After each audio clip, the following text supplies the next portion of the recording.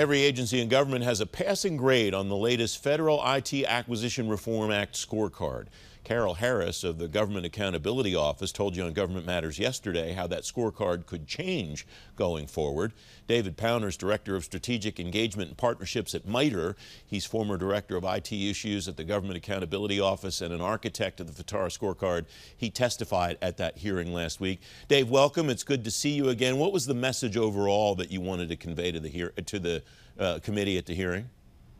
Well, two, two things really, Francis. One is I think it was an opportunity to really recognize the great progress that has occurred over the five plus years since FITARA passed in 10 scorecards. And there's a lot of credit to go around, around the horn here.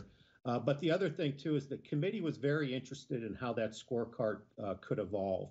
And, uh, you know, I had five recommendations that were very simple in my uh, statement. One was enhancing the uh, cyber area and then I proposed four new areas, many of which some of the existing categories could be folded into.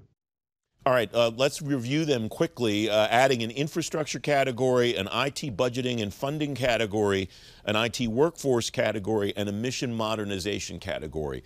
For any of those that, that the committee would add, how do you measure those things, Dave? How do you decide what the criteria are for the grades that the agencies are going to get? So, Francis, great question. So, a couple things here. One is you need to, with any scorecard, you need to focus on the right areas, have a way to simply measure it with the right data, and then ultimately you want that to result in the right outcome. So, for instance, like on the infrastructure category, uh, you know, we've done a lot with data centers over the years, and there's almost five billion in savings. But if we went to like an EIS type focus on the scorecard, you know, there's a way you could say, hey, if you haven't utilized that GSA contract vehicle, you get a failing grade. If you've uh, leveraged it, you get a C.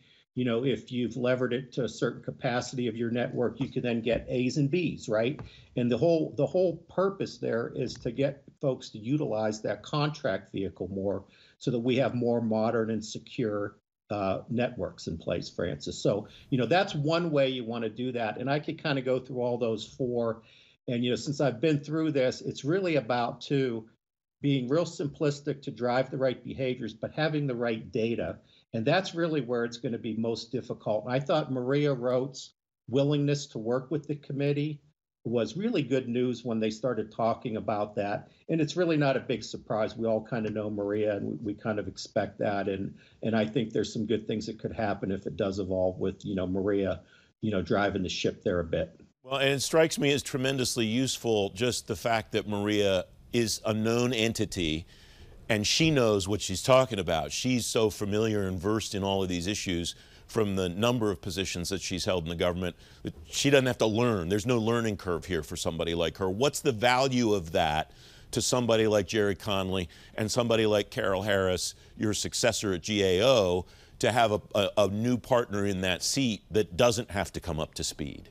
It's extremely valuable, Francis. And really, too, when you look at, you know, she's been there, done that and you look at the areas that are most in need of mission modern uh, of modernization uh, you know if you look at the president's management agenda this IT modernization category you know what's the hard stuff? It's mission modernization.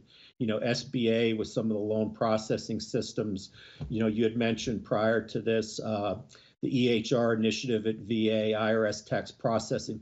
Those are the big things that we probably need to focus on and really leverage all the momentum and progress that we've made, you know, where we've enhanced CIO authorities. Do we have a ways to go still to strengthen that as business partners and strengthening their relationship with CFOs?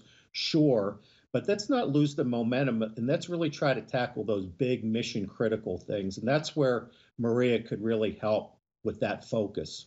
Uh, I want to talk about the trend lines in the time that we have left, Dave. I mentioned at the beginning, nobody's flunking anymore. Uh, the NextGov report on this says only one agency got an A plus. USAID maintained its A grade. The Education Department dropped from A uh, down to B. Does that stuff matter, or does it just matter that the general trend, the evolution seems to be from bad to better to good?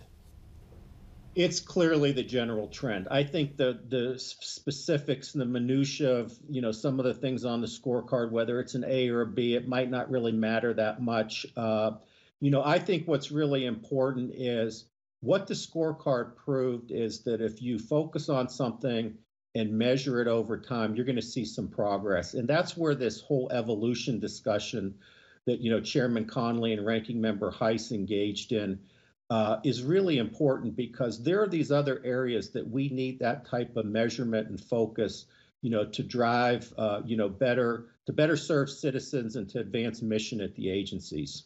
About a minute left, Dave. Uh, what will you watch moving forward? How will you kind of measure the evolution of the scorecard as time goes on?